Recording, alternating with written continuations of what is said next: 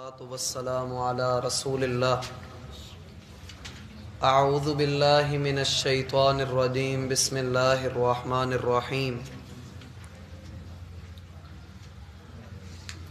وہ لوگ جو اللہ سبحانہ و تعالی کے لیے اولاد کا تصور رکھتے ہیں، قرآن نہ صرف یہ کہ ان کا رد کرتا ہے بلکہ ایسا عقیدہ رکھنے والوں کو جنت کے علاوہ، دنیا میں سکون کے علاوہ، عیش کے علاوہ، خوشحالی کے علاوہ جو کچھ بھی باقی بچتا ہے، یہ اس کی وعید سناتا ہے۔ صورت المائدہ میں اللہ رب العالمین کا فرمان ہے، لقد کفر اللہ دینہ کالو ان اللہ هو المسیح ابن مریم۔ یقیناً ان لوگوں نے کفر کا ارتکاب کیا جو یہ کہتے ہیں کہ مسیح ابن مریم اللہ کا بیٹا ہے، یا وہ اللہ ہے۔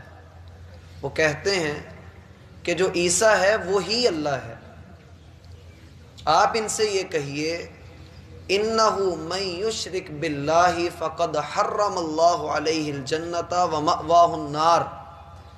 جس کسی نے بھی ایسی بات کہی تو اس پر اللہ نے جنت حرام کر دی حرم اللہ، علیہ الجنت اور اس کا ٹھکانہ اللہ نے جہنم بنایا ہوا ہے۔ وَمَا لِلظَّالِمِينَ مِنْ انصار اور ایسے مشرکوں کے لیے کہیں پر بھی کوئی مددگار نہیں ہے۔ اسی صورت المائدہ میں چھٹے پارے میں ہی ایک مقام پہ اللہ فرماتے ہیں۔ لقد کفر الذین قالوا ان اللہ هو المسیح ابن مریم لوگوں کا یہ کہنا ہے کہ اللہ عیسیٰ بن مریم ہے۔ کل اے محمد، ان سے ایک سوال کریں۔ فَمَن يَمْلِكُ مِنَ اللَّهِ شَيْئًا إِنْ أَرَادَ أَن يُهْلِكَ الْمَسِيحَ بْنَ مَرْيَمْ وَأُمَّهُ وَمَنْ فِي الْأَرْضِ جَمِيعًا۔ ان سے یہ سوال کریں کہ پھر وہ زندہ کرنے کی قوت اور موت دینے کی قوت کس کے اختیار میں ہے؟ اگر حقیقی اختیار والا رب ارادہ کر لے کہ اس نے عیسیٰ کو بھی موت دینی ہے، اس کی ماں کو بھی موت دینی ہے، اور جو کوئی زمین پہ ہے، اللہ نے سب کو موت دینی ہے، پھر بتاؤ زندگی اور موت کس کے ہاتھ میں ہوگی؟ اور یہ قرآن کا چیلنج عام چیلنج نہیں ہے۔ اسی صورت المائدہ میں ہی آپ اس کا آخری رکوع پڑھیے پارا نمبر چھ کا، اس میں اللہ رب العالمین فرماتے ہیں کہ لوگوں نے عیسیٰ کو اور اس کی ماں کو معبود بنا لیا۔ حالانکہ کانا یا کلان تعام دونوں ہی کھانا کھاتے تھے اور خدا جو ہوتا ہے، رب ہوتا ہے، اسے کھانے کی حاجت نہیں ہوتی۔ دونوں کو ہی انسانی ہوائج لاحق تھے، انسانی ضروریات ان کو تھیں۔ اور اللہ انسانی ضروریات سے انسان کی طرح نہیں ہے لئی سکا مثلی ہی شہی اللہ کے لیے کوئی مثال نہیں بیان کی جا سکتی۔ نہ اللہ کی کوئی اولاد ہے۔ اب ایک جرم تو دنیا نے یہ کیا کہ اللہ رب العالمین کے لیے بیٹے بنا دیے، اللہ کی اولاد بنا دی۔ اور بیٹے صرف یہی دو بنائے جس کا قرآن نے ذکر کیا ایک عزیر علیہ السلام اور دوسرے عیسیٰ علیہ السلام۔ حالانکہ دونوں ہی اللہ کے برگزیدہ بندے ہیں اور کل قیامت کے دن دونوں کو بری کر دیا جائے گا اور سارے کافر مشرق پکڑے جائیں گے۔ یہ تھا یہودیوں کا اور عیسائیوں کا کام۔ مشرقین مکہ نے ان کی طرف دیکھ کر کہا کہ ہم دنیا کو ایک نئی چیز دیں گے۔ ہم دنیا کو ایک نیا عقیدہ دیں گے۔ وہ نیا عقیدہ کیا دیا کہ دی، فرشتوں کا تصور تو ہے ہمارے اندر۔ فرشتوں کا تصور مشرقین مکہ میں موجود تھا۔ لیکن کس لحاظ سے موجود تھا؟ اس لحاظ سے موجود تھا کہ یہ فرشتے اللہ کی بیٹیاں ہیں۔ یہ فرشتے اللہ کی بیٹیاں ہیں۔ خود ان کی اپنی حالت یہ تھی کہ ان کے گھر میں بیٹی پیدا ہوتی تو اس کو دفن کر دیتے تھے، اس کو قتل کر دیتے تھے۔ اللہ فرماتے ہیں البناتی البنین تم نے جو جھوٹی باتیں کہیں، ذرا اس کو دوسرے رخ سے دیکھو کہ تم نے اپنے معبودوں کے لیے اپنے بہترین جانور ان کے قدموں میں قربان کیے۔ تم نے بڑے بڑے چڑھاوے چڑھائے کہ ہمارے معبود ہم سے راضی ہو جائیں۔ تم اللہ کو بھی اپنا رب مانتے ہو۔ تم مانتے ہو کہ تمہارے جتنے لات، منات، عزا، یہ اللہ تک پہنچنے کا وسیلہ ہیں اور اللہ سب سے اوپر والا رب ہے۔ تم نے اس رب کے لیے بجائے یہ کہ اس کو بیٹے اس کے ساتھ بناتے، تم نے اس کی بیٹیاں بنا دی۔ اور بیٹے بنانے والے الگ ہیں، وہ بھی جھوٹے اور تم بھی جھوٹے۔ کیا اللہ ایسا ہے کہ اللہ بیٹوں کو نہ لیتا اور بیٹیوں کو لے لیتا؟ یہ اللہ رب العالمین نے اس انداز سے رد کیا ہے کہ جیسے آپ یوں کہہ لیں کہ ایک انسان کے پاس دنیا کی ہر آسائش موجود ہو اور پھر وہ کسی کو اپنا گرو بھی مانتا ہو، گرو کو وہ ہر چیز دیتا ہو۔ اب ایک چیز سو روپے کی آتی ہے، ایک پچاس کی آتی ہے، وہ پچاس والی کہے کہ گرو جی یہ آپ کے لیے اور سو والی میرے لیے۔ اللہ سبحانہ و تعالیٰ کو وہ کہتا ہے کہ بھائی اللہ کی جو فرشتے ہیں وہ اللہ کی بیٹیاں ہیں۔ اللہ فرماتے ہیں مالا کم کئی فتح کمون تم سوچتے نہیں کہ تم کس طرح کا کام کر رہے ہو، کس طرح کا فیصلہ کر رہے ہو۔ تمہیں کس نے بتا دیا کہ فرشتے اللہ کی بیٹیاں ہیں؟ اگر واقعتاً تمہارے اس قول میں کوئی صداقت ہے، افلا تذکرون؟ غور نہیں کرتے۔ املا کم سلطان مبین؟ اگر غور و فکر کر لیا ہے تو کوئی دلیل ہے تو لے کر آؤ۔ اگر اللہ کی بیٹیاں ہیں تو لے کر آؤ۔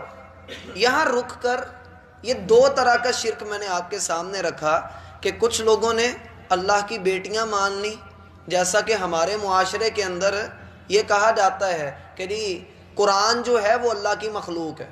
اسی لیے تو لوگ اپنی بیٹیوں کا نکاح قرآن کے ساتھ کرتے ہیں۔ ہمارے معاشرے کے اندر ایک عقیدہ پایا جاتا ہے، عقیدہ وحدت الوجود کا۔ پتہ ہے آپ کو اس عقیدے کا؟ اکثر کو نہیں پتا عقیدہ وحدت الوجود یہ ہمارے بڑے مسلمان بھائی اس عقیدے پر کاربند ہیں۔ وہ عقیدہ کیا ہے؟ کہ جی آل ان ون اللہ جو ہے نا، اللہ کی تعریف کیا ہے؟ آل ان ون یہ پنکھا بھی اللہ ہے، یہ موبائل بھی اللہ ہے، یہ قرآن بھی اللہ ہے۔ جسے وہ لوگ کہتے ہیں نا کہ مسجد میں کیا رکھا ہے؟ رب تے دل میں چرندہ ہر بندہ ہی رب ہے، ہر بندہ ہی خدا ہے۔ یہ ایسا کفریہ عقیدہ ہے جو قرآن سے ٹکراتا ہے۔ اللہ کیا فرماتا ہے؟ الرحمن علی العرش استوا رحمان عرش پر مستوی ہے۔ میرا بھائی، عقیدت میں آ کر لوگوں کی اس طرح کی باتوں کو قبول نہ کریں۔ لوگ اکثر یہ باتیں کر جاتے ہیں کہ لوگوں کا دل نہ توڑو، یہ سب سے بڑا گناہ ہے۔ کیوں؟ اس لیے کہ دل میں رب رہتا ہے۔ اللہ معاف فرمائے، کیا اللہ رب العالمین کے بارے میں ایسی بات کہنا درست ہے؟ یقیناً یہ درست نہیں۔ اور پھر ان بے جان چیزوں میں۔ آپ اندازہ کریں کہ یہ عقیدہ انسان کو کہاں سے کہاں تک لے کر جائے گا۔ ہندوؤں نے ایسے ہی تینتیس کروڑ خدا نہیں بنا لیے۔ ہندوؤں کے ہاں جو عقیدہ ہے، وہ عقیدہ یہ ہے کہ انسان کو جس چیز سے ڈر لگ جائے، مجھے سانپ سے ڈر لگتا ہے، ان کو نہیں لگتا۔ میں کہتا ہوں سانپ خدا ہے، یہ کہتے ہیں سانپ خدا نہیں ہے۔ میں کہتا ہوں تیرا اپنا دھرم، میرا اپنا دھرم، میں بھی ہندو، یہ بھی ہندو۔ ہندوؤں کے ہاں یہ عقیدہ ہے۔ اور اسی طریقے سے ہمارا مسلمان کیا ہے کہ کہیں پر کوئی انہونی ہوئی نہیں اور وہاں پر اس نے آ کر چڑھاوے چڑھانے شروع کر دیے۔